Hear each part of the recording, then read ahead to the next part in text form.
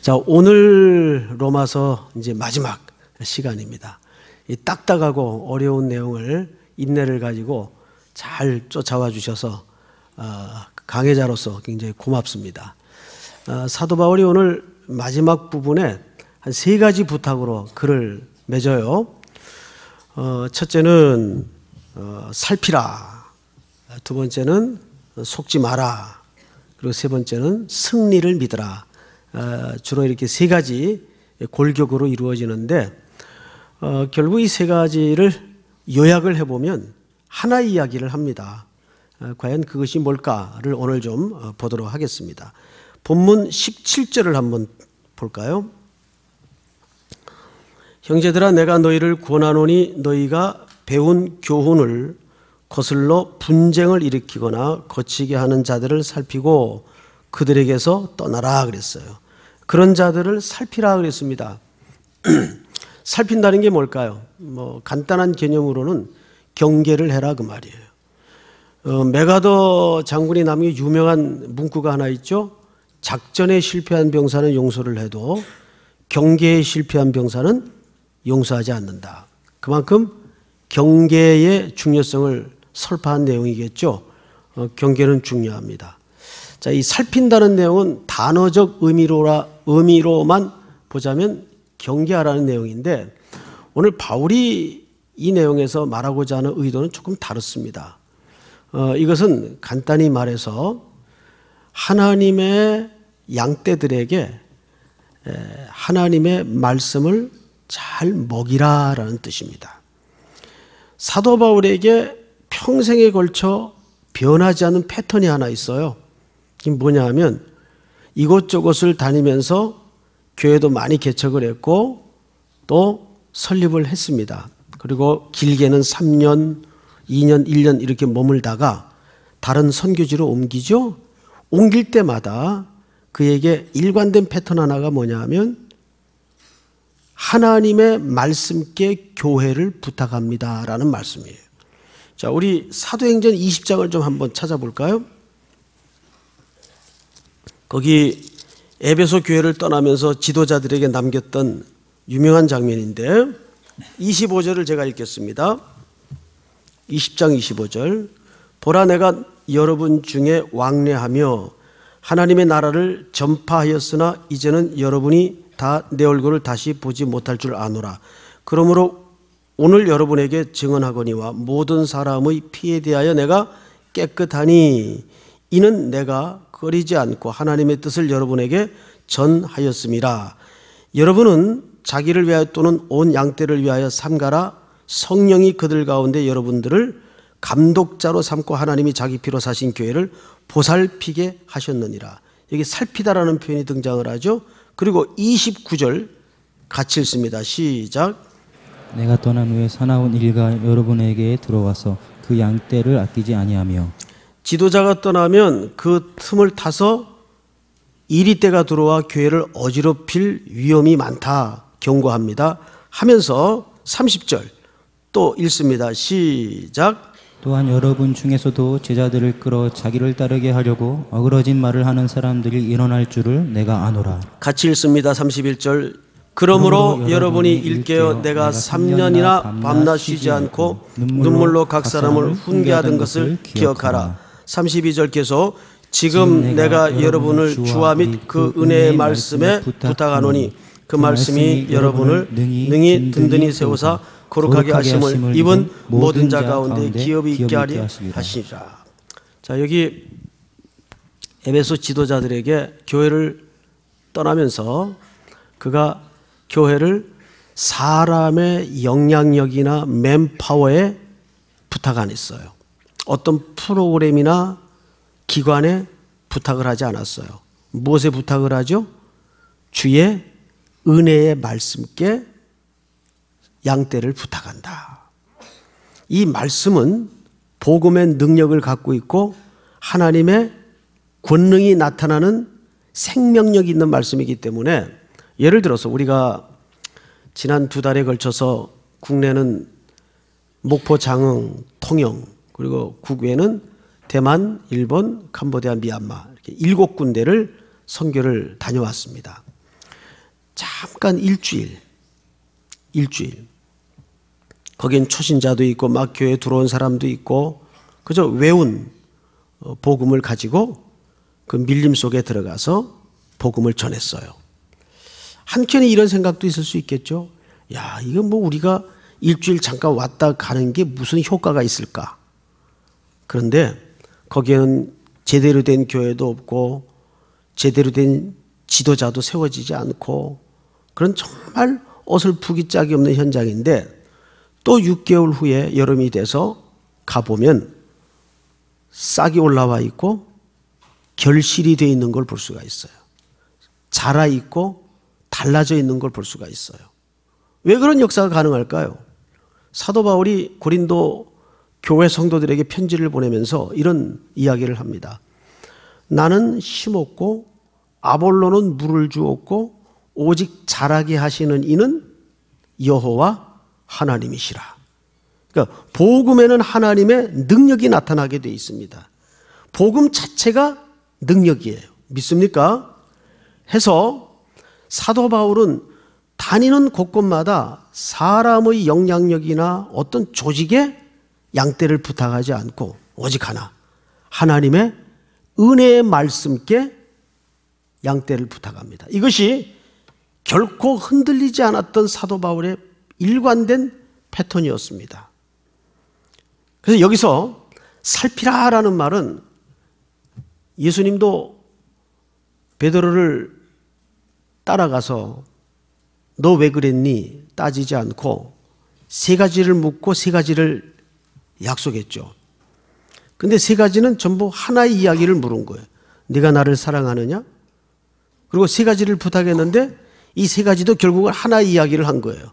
내 양을 먹이라, 내 양을 치라, 내 양을 먹이라. 결국 베드로의 실추된 사도권을 회복시키시면서 그에게 맡겼던 것은 하나님의 말씀으로 양떼를 먹이라는 겁니다. 그래서 우리 성도들에게 가장 중요한 직무가 뭐냐 하면 하나님의 말씀을 맡은 자라는 사실을 잊어서는 안 돼요.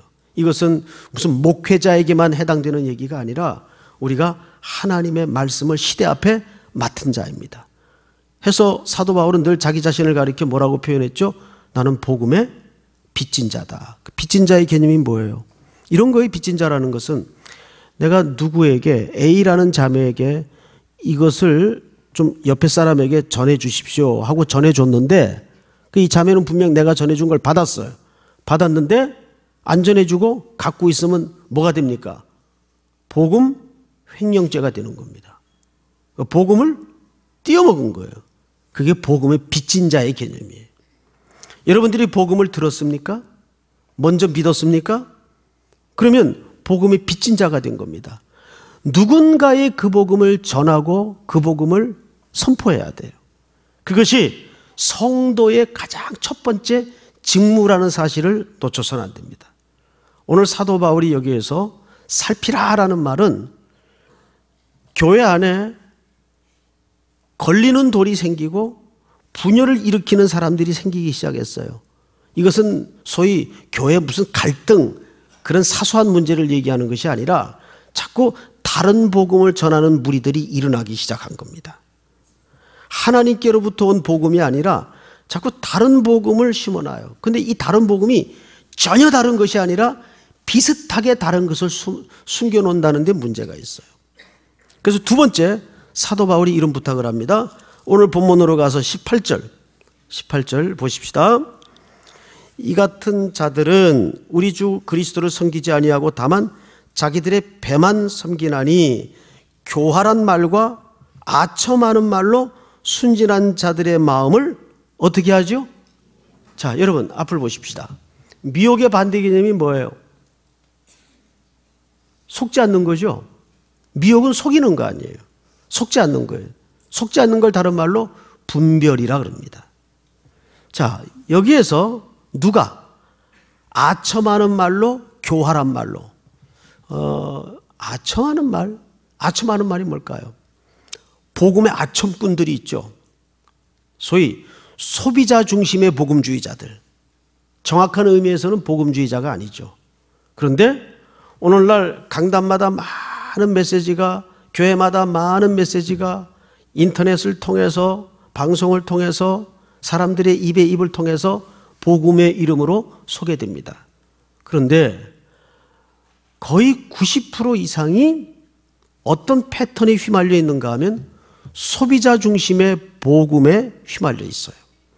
여기에 지금 선구자가 누구냐 하면 이 시대의 대표적인 어, 목회자가 미국에서 한창 젊은이들과 현대 성도들에게 매력을 느끼게 만들고 끌림을 갖도록 마케팅 전략을 통해서 부추기고 있는 소위 소비주의 중심의 복음주의자 조엘 오스틴 같은 분입니다. 어마어마한 청중들이 이 사람의 메시지를 듣고 따르고 추종하고 있어요. 제가 이렇게 실질적으로 이름을 거명하는 것은 이 메시지가 갖는 영향력이 너무 크기 때문이에요. 철저하게 소비 중심적인 마케팅 전략에 의한 복음. 그건 어떤 의미에서는 복음이 아니죠. 그것은 기준이 간단합니다. 오늘날 이 시대에 청중이 뭘 필요로 하는가? 복음의 출처가 출발이 여기서부터 시작이 돼요. 복음은 사람이 뭘 필요로 하는가로부터 출발되어서는 안 됩니다. 복음은 이 고통 가득한 시대에 하나님의 필요가 무엇인가에서부터 출발해야 돼요. 하나님은 이 고통 가득한 이지러진 세상을 향해서 뭘 필요로 하고 있는가? 청중이 뭘 필요로 하는가가 중요한 게 아니에요. 시대마다 청중은 그저 자기중심적인 필요를 쫓아서 분화비처럼 다녔던 것이 역사의 순리였습니다. 그런데 이 실용주의적 추세에 맞추어서 미국의 일부 목회자들이 이 소비 중심적인 복음주의자들의 경향을 따르고 있어요.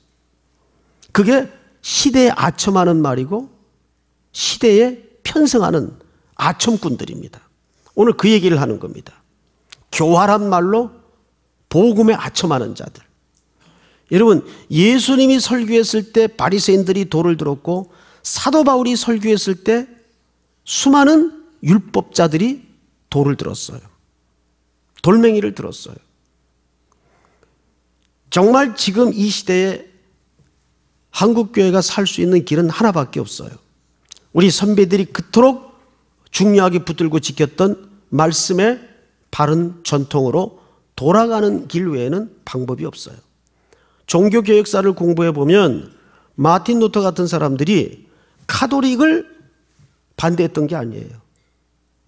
카톨릭 교회에서 일어나는 이 해괴망측한 이 수많은 신학에 어그러진 오류에 대해서 바로잡고자 성당 문 앞에다가 95개 조항을 내걸고 일관되게 주장했던 것 하나는 하나님의 말씀의 원리로 돌아갑시다였어요.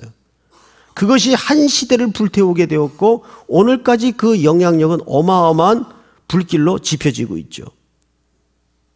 결국 마틴 루터가 말했던 요지는 하나님의 원래 말씀의 요지로 돌아가자였습니다.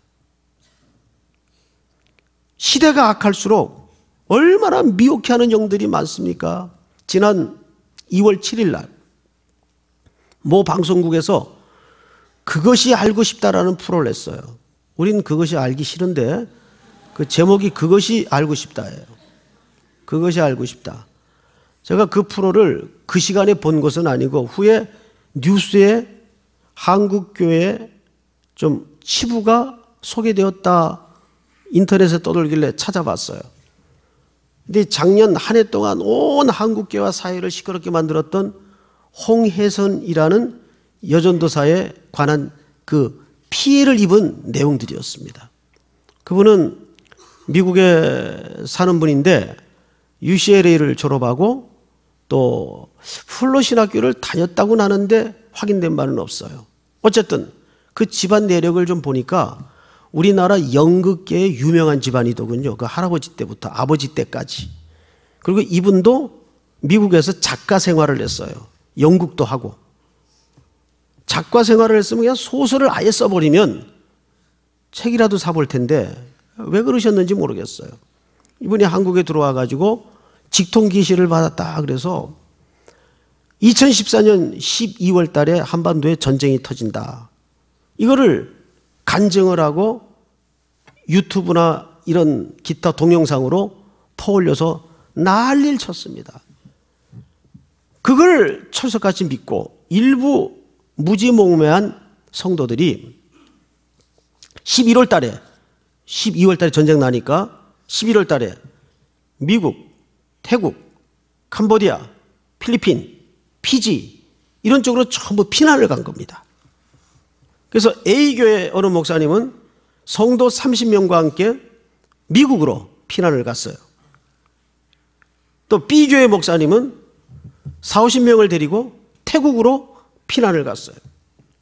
그 자기도 인천공항을 통해서 출국을 해버리고 말았죠. 또 마지막 메시지를 인천공항에서 남겼더군요.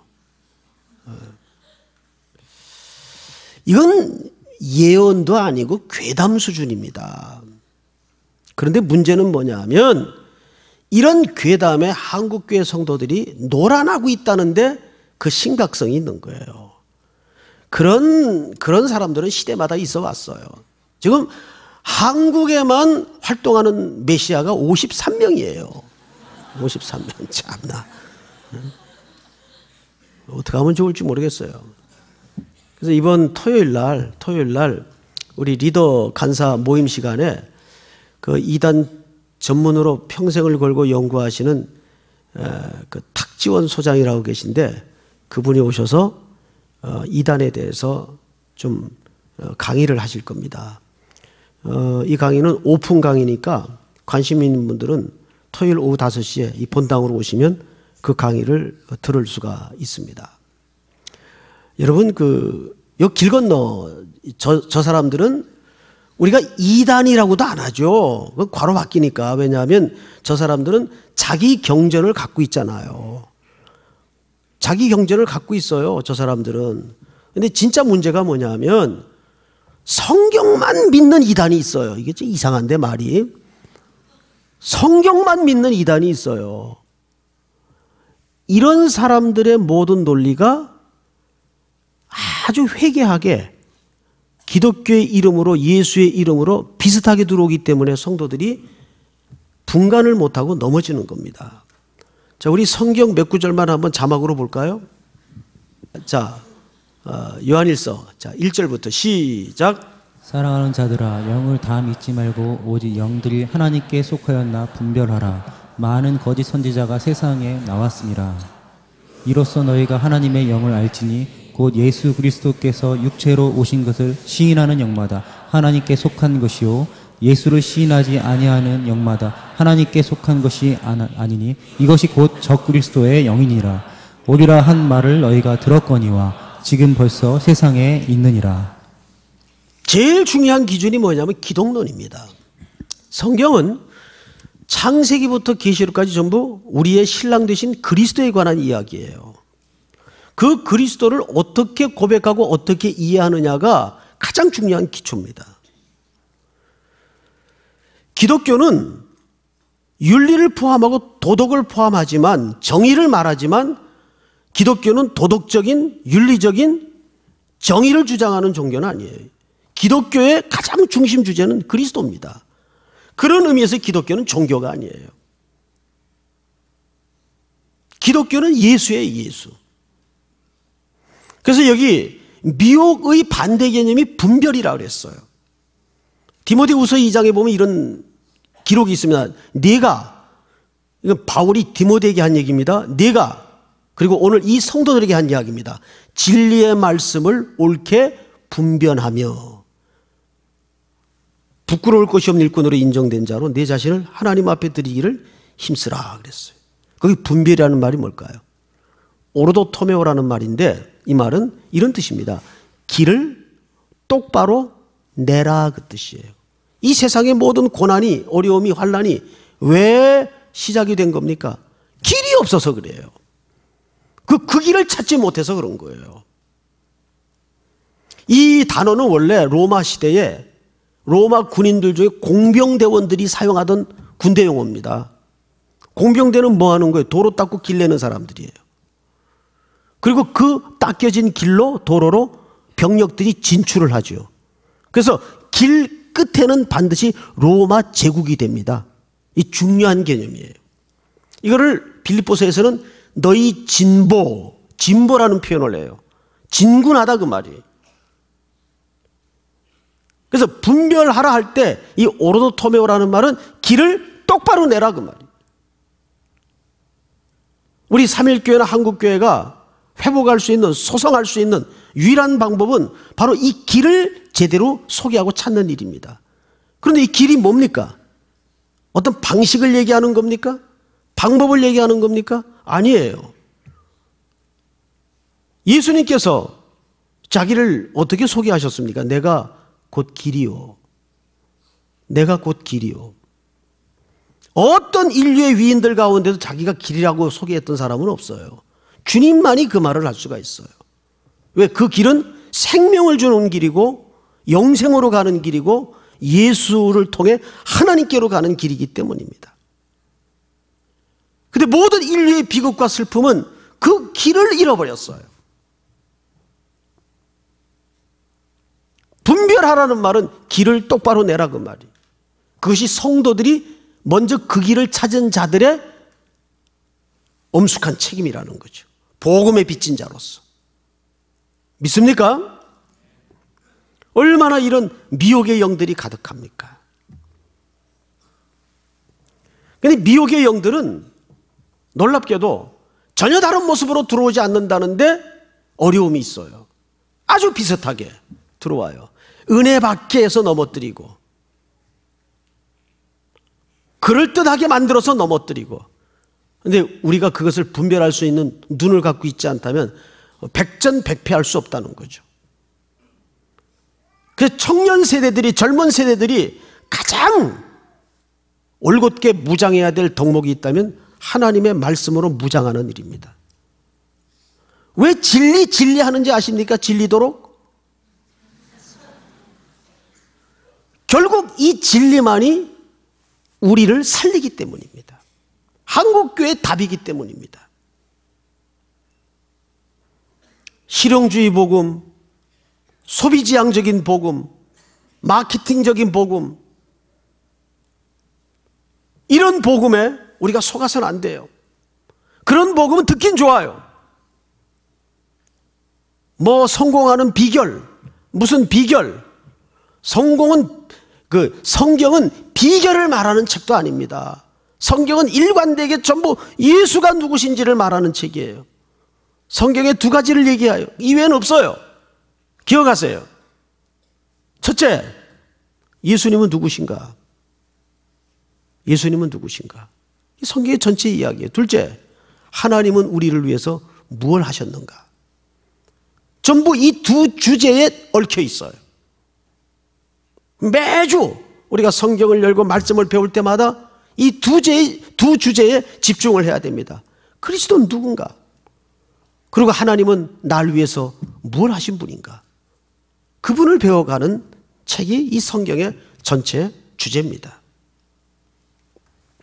자, 마지막으로, 마지막으로 우리 20절을 한번 보십시다. 20절. 다 같이.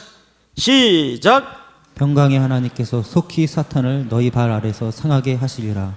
우리 주 예수의 은혜가 너희에게 있을지어다. 사탄을 너희 발 아래서 상하게 하시리라. 이 말은 뭘 설명하고 싶었던 걸까요? 최종적 승리를 믿으라 그 말이에요. 망할 수 없는 운명. 누구와? 교회가. 여러분, 이 세상 끝에는 경제에도 답이 없고 정치에도 답이 없고 국방력으로도 답이 없는 세상입니다. 교회가 최종적으로 승리할 것입니다. 그 이유를 사도 바울이 이렇게 당당하게 약속으로 남기고 있는 거예요. 사탄이 사탄을 너희 발 아래서 상하게 하시리라. 이것은 창세기에 계시되었던 하나님의 언약의 마무리를 약속을 다시 한번 확정하는 사건이에요. 자, 자막을 통해 성경 한 본문을 보겠습니다. 창세기 한번 띄워 주세요. 예, 같이 읽겠습니다. 시작. 내가 너로 여, 여자와 원수가 되게 하고 내 후손도 여자의 후손과 원수가 되게 하리니 여자의 후손은 내 머리를 상하게 할 것이요 너는 그의 발꿈치를 상하게 할 것이니라 하시고 아멘. 자, 자막을 그대로 두십시오. 여기 보면 내가 너로 여자와 원수가 되게 하고 이 사탄을 향한 하나님의 고발이었습니다. 그런데 네 후손도 여자의 후손과 원수가 되게 하리니 남자의 후손입니까? 여자의 후손입니까? 여자의 후손이에요. 왜 여자의 후손일까요? 인류 역사상 여자의 후손은 한 번밖에 존재하지 않습니다. 다 아담을 통해 태어난 존재들이기 때문에 남자의 후손이에요. 그래서 여기 여자의 후손이라는 말은 남녀 관계를 통해 태어나지 않는 유일한 자손, 성령으로 잉태된 그리고 동정녀 몸에서 탄생하신 예수 그리스도를 얘기합니다. 그분은 아담의 피가 섞여져서 이 땅에 태어나신 분이 아니에요. 여인의 몸에서 동정녀의 탄생을 통해서 성령으로 잉태되어 이 땅에 나신 아담의 모양을 하고 오신 분이에요. 그래서 아담의 피가 그분에게 섞이지 않았어요. 그래서 완전한 대속의 제물로 우리 죄를 속량할 수가 있었습니다. 그분도 죄가 있는 몸으로 태어났다면 죄 있는 사람이 죄를 속량할 수가 없죠. 그리고 그 하나님의 계획과 사랑이 십자가 위에서 확인되었습니다. 그때 이미 하나님의 이 언약이 완성된 겁니다. 여인의 후손이 뱀의 머리를 밟은 거예요. 뱀의 머리를 상하게 한 거예요. 여러분, 머리가 상하면 죽는 건 시간 문제지 이미 죽은 거예요. 시간이 걸리는 것 뿐이에요. 근데 뱀이 그 마지막 죽어갈 때 그냥 죽나요? 발버둥을 치고 발악을 하고 라를 합니다. 예? 그러니까 대단한 저항이 일어나게 돼 있어요. 그게 세상에 나타나는 징조입니다. 거기에 교회가 벌벌 떨고 있는 거예요. 이러다가 어떡하나. 한국교회 망하는 거 아닌, 아닌가. 걱정하지 마세요. 교회는 최종적 승리를 하게 돼 있습니다. 믿습니까? 쓰나미 같은 일어선 파도가 한국교회를 삼킬 듯이 넘실거릴지라도 예수 그리스도께서 이미 사탄의 머리를 밟고 승리하셨기 때문에 그것이 시간 속에서 지금 만들어지고 있는 거예요. 그래서 우리가 여기에서 한 가지 붙들고 있을 수밖에 없는 것은 그 약속의 말씀이에요. 절망스러울 때에도, 앞이 안 보일 때에도, 위협 속에 있을 때에도 담담하게 보혈의 공로를 의지해서 십자가의 복음을 붙들고 소비지향적인 복음이 아니라 십자가의 복음을 붙들고 주님 오시는 그날까지 꿋꿋하게 서 있는 겁니다. 버티어 서 있는 게 얼마나 큰 싸움인 줄 아세요? 그 자리에 무너지지 않는 게 얼마나 큰 싸움인지 아세요? 빌립보서는 전부 그 얘기를 하고 있어요. 굳건하라. 그 말은 잘 버티어 서 있어라 그 말이. 떠밀려가지 말아라 그 말이. 떠밀려가지 않기 위해서는 바라봄이 확실해야 돼요.